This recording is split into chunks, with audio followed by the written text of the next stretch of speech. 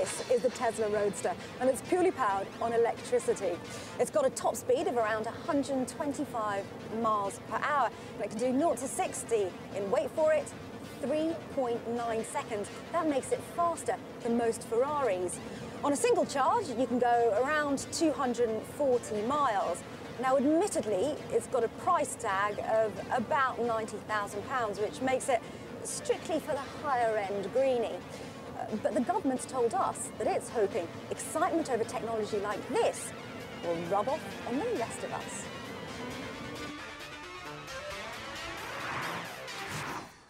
What strikes me most about Toya's story is very simple, really, that it's the story of the thousands of people that have moved from the countryside here into the ger district. Life is undoubtedly tough. There's no running water, work is hard to find, and, and from what she's saying, it's actually very lonely. But she wants what everybody else here wants, which is a better future for her children. And that she feels she's going to get through education. So however hard it is, she's determined to stay and determined to make something of this situation for herself and for her kids. Right, so let's have a look at what we've managed to get. In just half an hour, we've amassed this array of fake car parts, and they're big brands. Look, BMW with the serial number, Mercedes, there's the stamp in there, and this is a brake pad. We were told that they could easily emboss a VW logo on here with a serial number, and it would be ready for export. Things are moving fast. Not only have we got the fake parts, we've now been offered a meeting with a man behind the operation. You've got a thousand of these. It says made in Germany on, on the box, but the actual part is made in Turkey. Sen bunu Very da clever. biliyorsun. Bu ne oluyor? Evet, o, o yazıyor işte. O arkada burç bu, süspansiyon parçası yani. It's a vital suspension component. It's a vital suspension component. Yeah, that, that's the name of their old, their old company at the bottom there as well. Where is that? Just car, That's car park. fantastic. So you've got O şeyden evvel Mercedes on the yaptırmıştık. top Bu kanun çıkmadan, marka kanunu and çıkmadan Türkiye'ye. is the name of I've the got- counterfeiters on the bottom. Yeah. Yep. Credit where credit's due. That's what I say. So any brand we want, you can Yeah. make the hologram. Bad news for Mr. Azri and his holograms. Is this difficult? Is it hard? Zor mu bunu yapmak? Yani e, şöyle söyleyeyim. Şu anda maliyetlerini tabii hatırlamıyorum ama 10-15 sent gibi bir fark yapıyor şu şu öyle bir şey koymak mesela. Okay. And you made this in Turkey, No from Germany. but really from Turkey. Yeah. I'm I'm understanding the language now. Beni, beni de kandıracaksınız. Ben, ben de. Laden down with samples, it was time to make our excuses and leave. The offer was clear. If we could supply them with serial numbers, they could get us cheap counterfeit copies of pretty much any part we wanted. So William Gage today singled out four soldiers for severe criticism, one corporal and three officers. Uh, he went on to say that uh, amongst the soldiers that were guarding the detainees, including Baha Musa, there was a culture of casual violence. But crucially, he went on to say that within one QLR as a whole, there was not an ingrained uh, culture of systematic violence. That's important because the lawyers who represent the family of Baha Musa and the other detainees have made that a consistent allegation.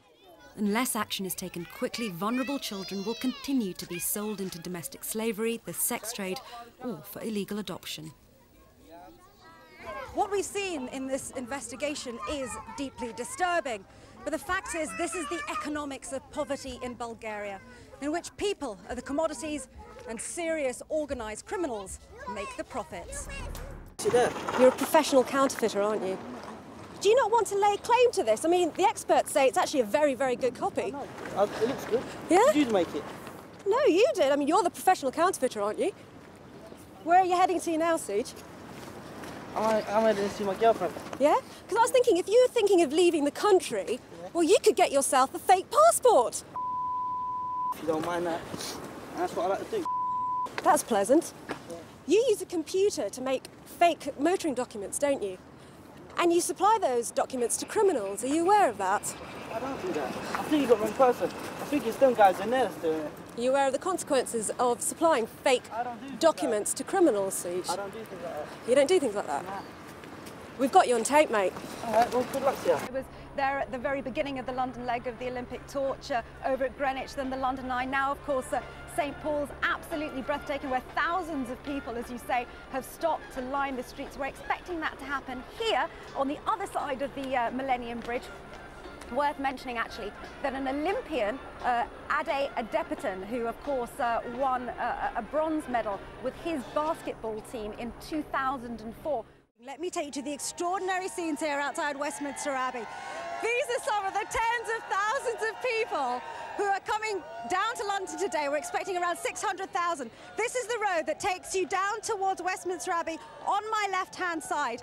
Off in the distance, you can see the West Door. That's where the royal family will be entering uh, to take their part in the ceremony. This is the North Door. This is where the non-royal guests will be. So the likes of Posh and Becks, Joss Stone, uh, famously Kate Middleton's family newsagent and butcher. Let me show you this. This is Parliament uh, Square behind, of course, iconic Big Ben. And just look at these crowds. They've been lining up, some of them, since uh, last night. Everybody's cheering. There's a really good sense of celebration and, and a real commitment to being here and sharing in this very historic moment. Let me take you over to some people I've been talking to this morning. Need I say more, really? Now, you can actually pick up a bit of that good luck, can't you? Well, it is believed that if you touch the sweat of the winner winner wrestler or uh, winner horse at the races, you can get some of it. You'll be very lucky. So if I go up to the winner of the wrestling competition, a big, muscly, sweaty man, and touch him, there's not going to be a problem. It's a final chance to ponder the country I've discovered on my journey here. In many senses, modern Mongolia has come of age. 21 years of democracy and this country is confidently on the move. Be it the weather, people, sports or politics, this country is going forward. No doubt there are big challenges ahead, but the fact is people here relish competition and sportsmen like Bedrogan prove that they can take on the world and win.